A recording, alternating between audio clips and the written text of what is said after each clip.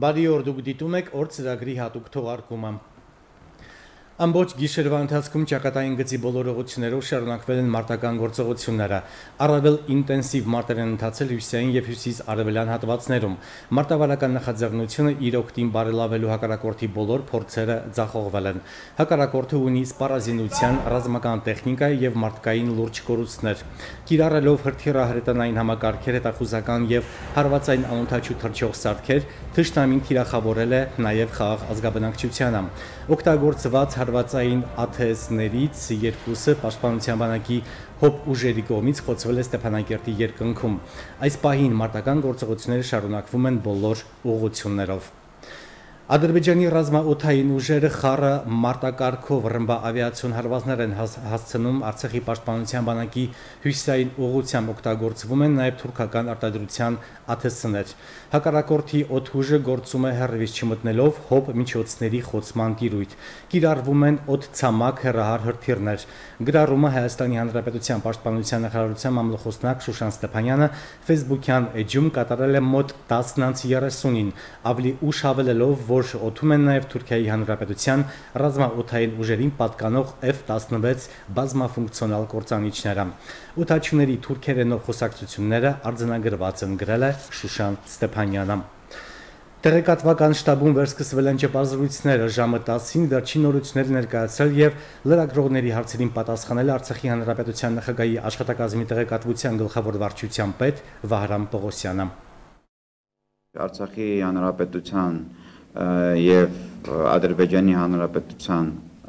շփման գծի ամբողջ երկայնքով շարունակում են ինտենսիվ մարտեր ընթանալ,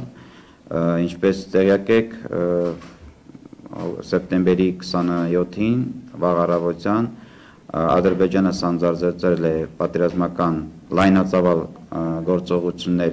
Արցախի հանրապետության դեմ եւ և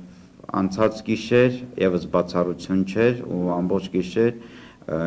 բնա շփման գծի գրեթե ամբողջ բնագծով ընթանում էին ինտենսիվ մարտեր, հատկապես ես կցանկանայի առանձնացնել հյուսիսային եւ հյուսիսարևելյան ուղությունները։ Մեր միջազգային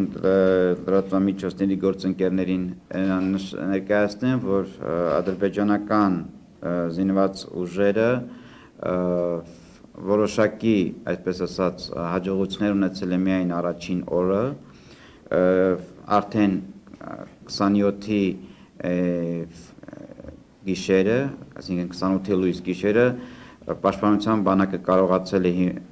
վերականգնել կորցրած դիքերի մեծ մասը, ունենալ արդեն որոշակի առաջ խաղացում, հաջողություններ եւ այդ հաջողությունները առ այսօր պահպանվում են եւ Պաշտպանության բանակի կարողանում է ինտենսիվ կերպով կասեցնել բոլոր այն հարձակողական գործողությունները, որը իրականացնում է Ադրբեջանի բանակը, ուզում եմ անպայման շեշտել թուրքական զինուժի աջակցությամբ երեք արդեն թուրքական Թուրքիայի պաշտպանության նախարարը հայտարարեց, որ պատրաստ են նույնիսկ մարտական ավելի ուղիղ մասնակցություն ունենալու, բայց մենք գիտենք, որ ադրբեջանակ ադրբեջանում այսօր գտնում են թուրքական զինուժի բավականին մեծ ստորաբաժանումներ եւ այս ստորաբաժանումների աջակցությամբ ադրբեջանը փորձում հաջողություններ ունենալ եւ ուզում եմ հստակ հայտարարել որ անցած գիշեր բոլոր հարձակողական գործողությունները ադրբեջանի կողմից ձախողվել են եւ այս պայդրությամբ ադրբեջանը ադրբեջանի բանակը ունի կենթանի ուժի եւ զինտեխնիկայի շատ մեծ կորուստներ։ Ցանկանայի երկու խոսքով անդրադառնայի ենթակառուցվածքներին, ասեմ, որ այս պայծրությամբ ենթակառուցվածքների առումով առանձնապես էական խնդիրներ չկան, շարունակում է տնտեսությունը եւ ընդհանուր առմամբ ենթակառուցվածքների առումով բնականon աշխատանքը եւ խնդիրները հիմնականում ցակում են այն հատվածներն, որտեղ որոնք գտնվում են հակառակորդի հրետակոծության տակ եւ առաջանալուն պես անմիջապես գործի են դրվում բոլոր հնարավորությունները արագ օպերատիվ այդ խնդիրները լուծելու եւ աշխատանքները վերականգնելու համար ՄԱԿ-ի անվտանգության խորհուրդը Լեռնային Ղարաբաղի հակամարտության գոտում իրավիճակի սրման շուրջ տեղի ունեցած փակ քննարկման արդյունքով հանդես է եկել հայտարարությամբ։ Հայտարարությունում ասվում է. ՄԱԿ-ի անվտանգության խորհրդի անդամները անհանգստություն են հայտնել Լեռնային Ղարաբաղի հակամարտության գոտում շփման գծի երկայնքով լայնամասշտաբ ռազմական գործողությունների մասին հաղորդումների առնչությամբ։ Նրանք վճռականորեն դատապարտում են ուժի գործադրումը եւ ափսոսանք են հայտնում մարդկային զոհերի ու քաղաքացիական բնակչության շրջանում զոհերի կապակցությամբ։ ՄԱԿ-ի անվտանգության խորհրդի անդամները աջակցել են գլխավոր քարտուղարի կողմերին ուղղված կոչին անհապաղ դադարեցնել ռազմական գործողությունները, նվազեցնել լարվածությունը եւ անմիջապես վերադառնալ կառուցողական բանակցությունների։ ՄԱԿ-ի անվտանգության խորհրդի անդամները հայտարարել են ԵԱՀԿ Միսկի խմբի համանախագահների կենտրոնական դերակատարման լիակատար աջակցության մասին եւ կոչ են արել կողմերին համագործակցել նրանց հետ առանց նախապայմանների երկխոսության շուտապույտ վերսկսման համար։ Ժամեր առաջ նոր հայտարարություն է տարածել Արցախի արտաքին գործերի նախարարությունը։ Թուրքիան երկար ժամանակ ակտիվորեն փորձում է օգտագործել Ադրբեջանա-Ղարաբաղյան հակամարտությունը հարավային Կովկասում իր ապակառուցողական արտաքին քաղաքական օրակարգը առաջ մղելու համար, ընդ որում ոչ միայն հրաապարակավ արտահայտելով անվերապահ համերաշխություն Ադրբեջանին, այլև այդ երկրին ցուսաբերելով իր անմիջական աջակցությունը, այդ թվում ռազմական բնույթի։ Սակայն, եթե նախկինում Թուրքիան ստվերային տիկնակավարի դեր էր խաղում, որն ուղղորդում էր Ադրբեջանի գործողությունները, ապա այժմ Անկարան անմիջական մասնակցություն ունի Արցախի ժողովրդի դեմ Ադրբեջանի իշխանությունների միջազգային հակաիրավական գործողություններին, խրախուսելով Բաքվի հանցավոր գործողությունները, ցուցաբերելով ռազմաքաղաքական եւ տեղեկատվական աջակցություն տրամադրելով զենք, մասնավորապես անօթաչու թռչող սարքեր եւ համազարգային կրակի հրթիռային համակարգեր, ուղարկելով ռազմական մասնագետներ եւ հավաքագրելով վարձկաններ մերձավոր արևելքից Արցախի հանրապետության դեմ պատերազմին մասնակցելու համար։ Միջազգային հանրությունը պետք է լիովին գիտակցի, որ Թուրքիան Ադրբեջանի հետ միասին կրում է տարածաշրջանում խաղաղության եւ անվտանգության խախտման համար ողջ պատասխանատվությունը եւ պետք է հավասարապես պատասխանատվության ենթարկվի միջազգային իրավունքի նորմերի եւ ՄԱԿ-ի կանոնադրության հետևողական խախտման համար։ Այս բոլոր գործողություններից հետո Թուրքիան allևս չի կարող համարվել ԵԱՀԿ Միսկի խմբի անդամ, ինչպես նաև որևէ ձևով մասնակցել Ադրբեջան-Ղարաբաղյան հակամարտության կարգավորման ուղղված ԵԱՀԿ շրջանակներում միջնորդական առաքելության իրականացման հետ կապված գործողություններին։ Թուրքիան պետք է բացառվի ԵԱՀԿ Միսկի խմբի կազմից, քանի որ նրա ներկայությունը այդ միջազգային միջնորդական կառույցում կնշանակի Արցախի հանրապետության դեմ պատերազմ սանձազերծելուն ուղղված ապակառուցողական եւ հանցավոր գործողությունների խրախուսում։ Սա արտաքին գործերի նախարարության տարածած հաղորդագրության գլխավոր մեսիջն ու պահանջն է։ Տարիներ առաջ Սիրիայում նրանք ընտրել են Արցախի ճանապարհը եւ ոչ թե որ պատերազմ չի լինելու, այլ այստեղ պայքարը հայրենիքի համար է։ Սիրիահայ Ասմարյան ընտանիքը Արցախում երկրորդ պատերազմն է տեսնում, բայց չեն ընկճվում։ Խաղաղ պայմաններում արարում են, իսկ ռազմական գործողությունների ժամանակ օգնության ձեռք մեկնում տարբեր ճակատներում։ Սա մեր պատերազմն է։ Մենք ունենք այստեղ մի դաշնամի, որոնց ես չեմ ուզում գոչել ադրբեջանցի, որովհետև ադրբեջանցի բարի մեջ մտնում է եւ Տալիշը, եւ Ավարցը, եւ Լիզգինը, որոնք ես կարծում եմ, որ եղբայր աս, ասկեր են։ Սիրիահայ Հովիկ Ասմարյանն ընտանիքով Արցախում հաստատվել է 2012-ին։ Գիտակցում էին, որ այստեղ կարող է առերեսվեն ռազմական գործողություններին։ Ասում է Սիրիայում չեն խուսափել պատերազմից, պարզապես իրենք այնտեղ անելիք չունեին։ Երբ որ Սիրիայի պատերազմը եղավ, երբ որ եկանք մեզ չասեց վիզա պետք է ստանաք, կարելի է կալ, չի կարելի կալ ընդհանրակ։ Մենք միայն ասեցինք հայ ենք։ Всё։ Այդ այդ այդ վարշեբնի գախարտական բարը ապեր հայես հայեմ բա կայֆա չէ եւ իսկական կայֆա ես մտա իմ հայրենիք առանց ովևէ մեկ դժվարության իմ ավտոն մինչև հիմա սիրիական համարներով է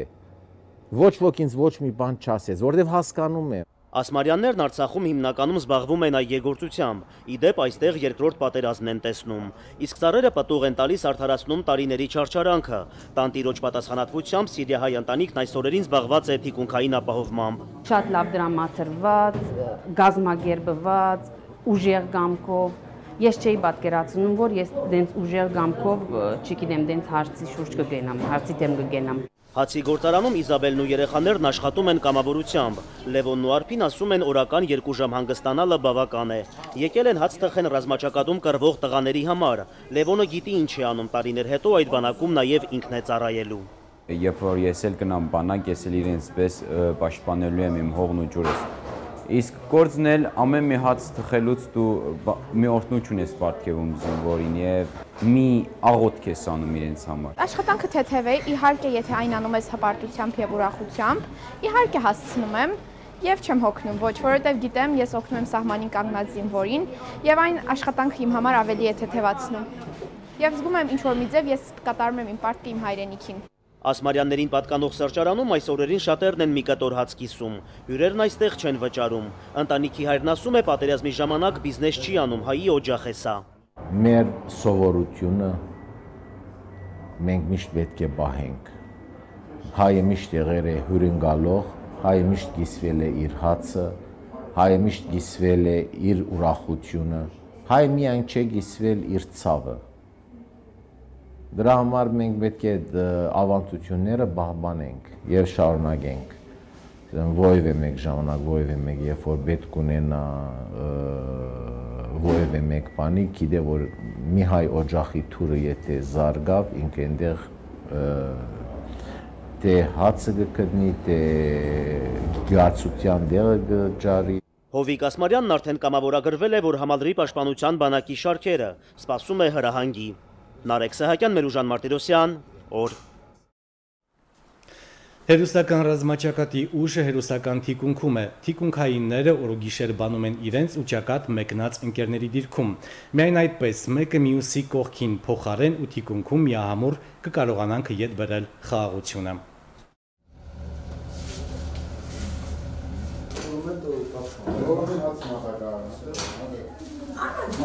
Գնացի ես էլ օրեշտայի դիրքերը չթողեցին, թե լտղեք ըստեղ կայնած դու ով ես օրեշտաս եթե հարնում ես էլ եմ կռվին մասնակցած 92 թվականներին եւ ուզեցա այնտեղ անեի հնարավոր է ես այդքան գործ չենե ինչքան երեխեքին դուխ տայի որ տեսնեին ես հələ կաղլիկ չէի հələ չալիգով չէի մանգալում ինչ որ մեկին էլ չէի խանգարում վերջում ինձ ուղարկեցին ստեղ թե ուզում ես օգնես գնա այս գործները այս էլ է օգնություն Քաղաքապետի ասելով էս էս էլա կարևոր գործ, պետք է թխնքացը ուղարկին։ Երեխեքին իրա տարել են ուրիշ տեղ, ապաստարաններից փոքր երեխա, ինքը տեղյակ չի եղել, ուզեցել որ էստա հաց տանի երեխեքին պատվալի ժողովրդին, ուղղակի տեղափոխած են եղել ավելի ապահով։ Կառավարությունը հետաքրքրում է Նշել եմ որ երեխեքին արել։ Սար գիշեր հացին բաժանում են եկել մանգալի ով որտեղ է մի էս պայն, էս կորն է պետք է սենքենն պետք եղավ, իմ արև գան ստեղ հասնի ձերս ինչ կա չկա կդամ գլխներին, էդ է ուժը ստեղ պատում, ուրիշ բան չի պատում։ Իմ կամանձի ռոտին էլ է խփել, այն ներկա պահի հրամանատարից խփել եմ։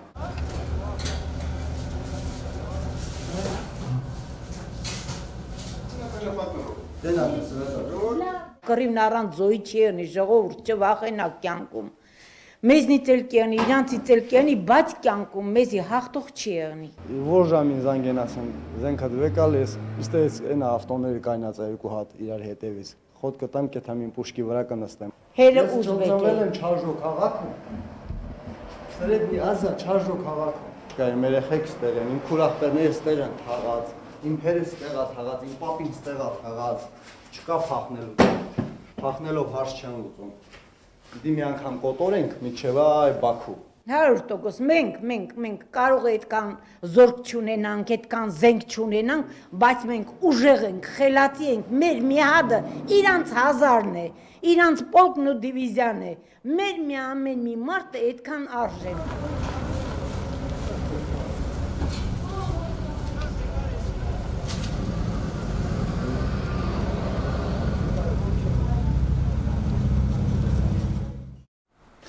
Այս ժամի համար այսքանը վերջում նորից հիշեցնեմ, որ բնակավայրերի քաղաքացիական նշանակության օբյեկտների թիրախավորման վտանգը դեռ պահպանվում է։